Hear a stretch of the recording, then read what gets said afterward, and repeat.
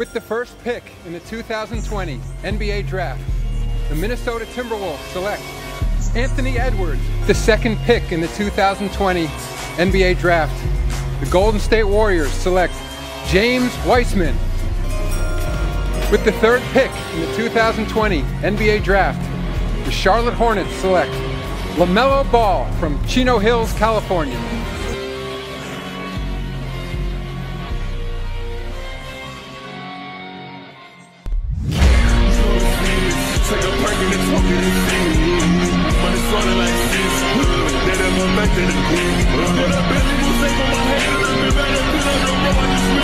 LaMelo.